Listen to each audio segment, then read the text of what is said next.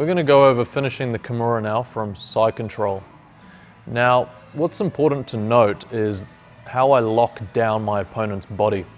Basically, once you get the catch, it should be almost always game over. So when I see people uh, competing and they let go of the Kimura to go to something else, I kind of see it as a bit of a waste. I think you should never let go of a catch once uh, you've got it. Okay, if your opponent happens to break that, try and uh, gain it. If you can't get it back, then obviously you'll require, it's required to do something else. Okay, so this is how I like to lock down my opponent in side control. Okay, I understand there are various ways in which people like to secure side control, but this one I find best in terms of finishing the Kimura on this arm. Why? Because I'm locking down this arm. Okay, if I can lock down his body, then this arm and finishing this submission is easy. I don't want things moving around.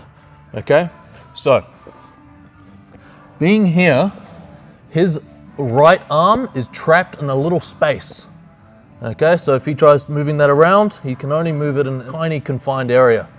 My elbow is in the crook of his neck, as opposed to being down here where a lot of people finish the Kimura. The reason why this is not as good is because he has access to my armpit, okay, where he can push my armpit and possibly retrieve his arm. That is why my elbow goes in the crook of his neck. Okay, and my hand here just sits on the inside. So once my opponent is fully locked down and I'm happy with this, we're gonna go over the mechanics of the finish, okay?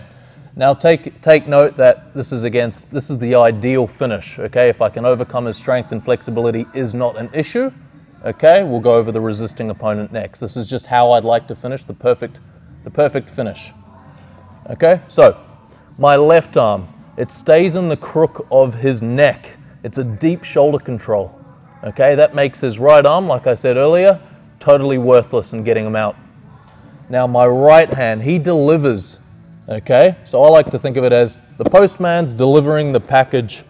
Okay, so this hand does not reach. If it reaches and I lose shoulder control, okay, I'm losing control of his body. Okay, I don't want to jeopardize that control. So this stays tight. My hand stays just under here, open grip, waiting to snatch. My right hand, keep note, I'm, I'm holding his wrist and the blade of the hand. I pin the hand, okay? Now this is how I finish. I draw a big circle, okay? I just keep drawing that circle until this hand can suddenly get hold of my other wrist, securing the double wrist lock. Okay, one more time. I pin the hand. I draw a circle. I catch. Now take note of what my right elbow is doing. A lot of people block themselves off from completing the Kimura, okay? And they end up trying to do this thing where they're lifting their opponent off the mat. Now the problem with that is I better be stronger than he is because if I'm not, stay strong on the mat, um, Tony, I'm not going to be able to lift him off. I don't want to have to rely on strength. Okay? So, I pin the hand. I'm relying on tightness instead. I draw a circle. My elbow, watch what it's doing. It's becoming a, a pusher. So it's pulling, it's pulling the arm, and then suddenly it's in line with his body. It's parallel with his body. This, this is good for two reasons. One, I'm pushing the grip, pushing his hand into the grip. And two, it's very hard for him to break this grip because he's pushing his force to relieve this catch is pushing against my entire arm. Whereas here, I'm blocking myself and he's stronger when his arm's out here, okay? So, I'm here, pin the hand, draw a circle, my arm goes parallel to his body. I obtain the catch.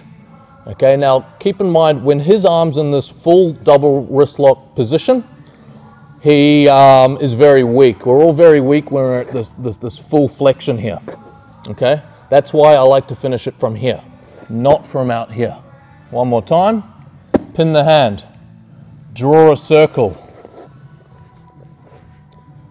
get the catch.